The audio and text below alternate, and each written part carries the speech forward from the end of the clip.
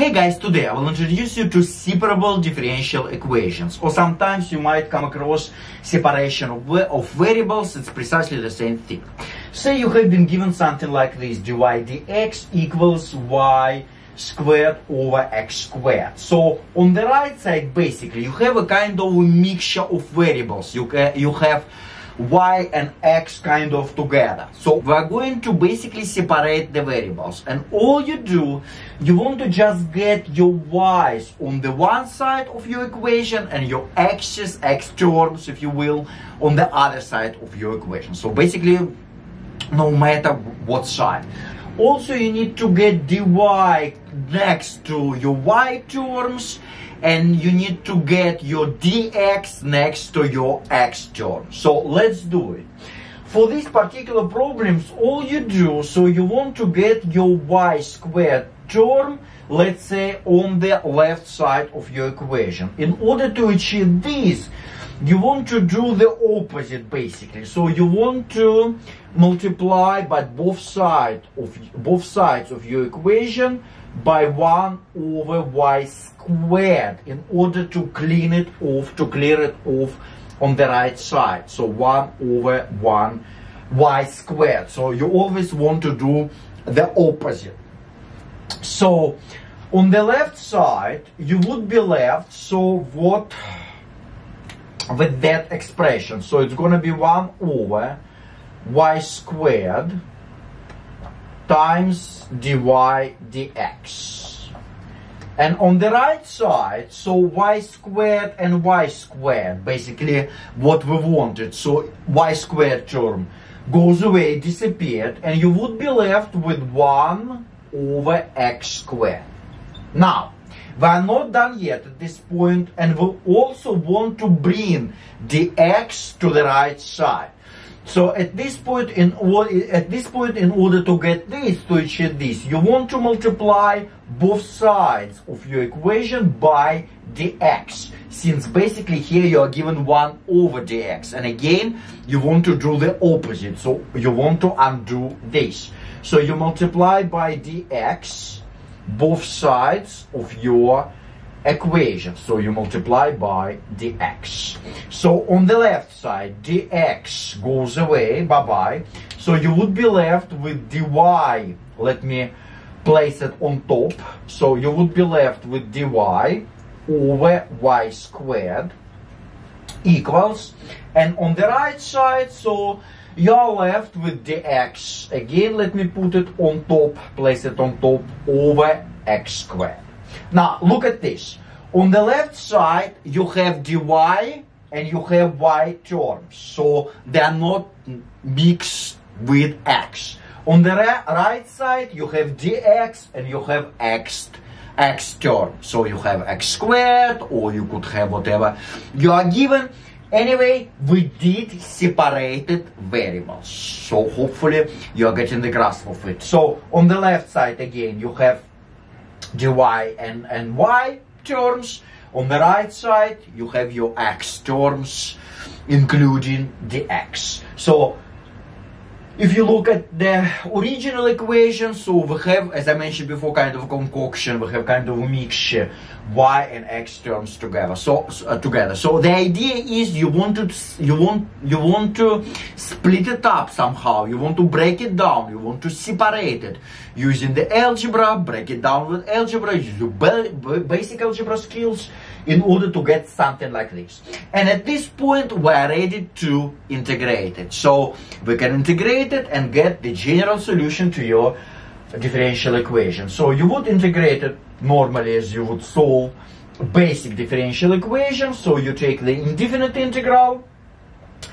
And since you are given this power and your power happens to be in the bottom of your fraction, so you always want to bring it up and let me do it over here. So you would have something like the integral y to the negative 2 with respect to y dy and the same thing you're going to bring this power up to the top by making it negative negative 2 dx And at this point, you are going to apply a power rule to both sides of your equation. So recall that the power rule says, says all you do is just raise your power by one. So you increase it by one and you divide it by this new power. So minus two plus one.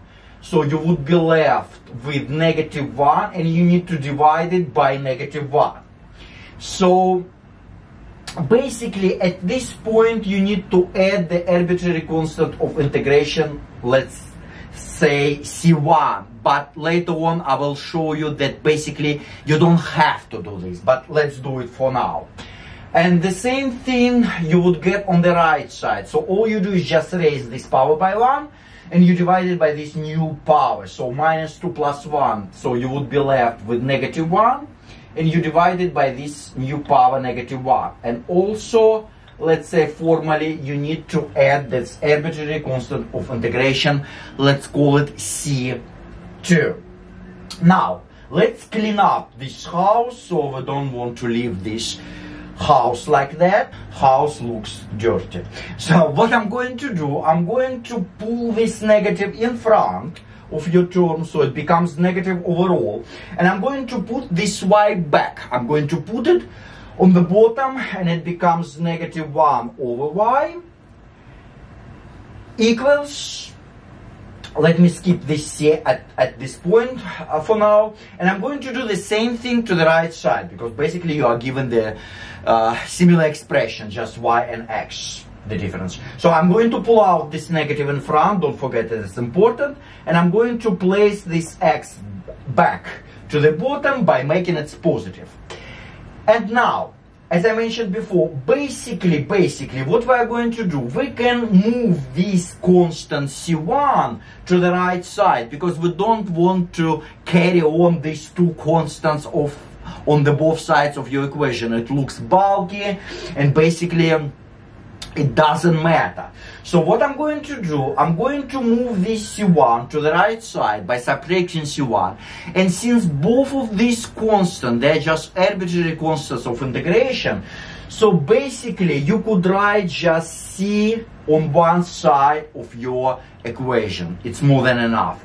So again, at this point, as I mentioned before, basically, even at this point, you don't have to write this C1 and C2. So you could normally you could basically skip this C1 at this line, at this point, and you could add C over here. So, but you have to add C at, at, at any point, no matter to, we, to which side. And again, why it doesn't matter? Because if you add C to both sides of your equation, equation Eventually, when you move this constant around, it would end up to getting just one constant of integration and you could end up getting just C on one side. Now, we are not done yet at this point and you always want to try to get your general solution in the form of y equals some x expression in terms of x. So you want to, you always want to express your y and write your y explicitly in terms of x. Sometimes it's not possible and you would end up getting some kind of kind of implicit form of your equation. So, but try. Now, at this point, let's multiply both sides of your equation by negative 1 in order to get rid of this negative sign. So I'm going to multiply by negative 1, but both sides of your equation. So it becomes, in the next line of your work, it becomes positive 1 over y. So you do this algebra, equals 1 over x, so becomes positive minus c. Now, I'm going to get the common denominator and I'm going to simplify this right side of your equation. So 1 over y equals, so the common denominator is going to be x and on top you end up getting 1 minus cx. And at this point, I'm going to swap top and, top and bottom on the right side and simultaneously on the left side. So, you would get something like y equals x over 1 minus cx. where c is your arbitrary constant of integration. So that's your general solution to this differential equation. And it's look it looks more compact, more neat than it was like at this point.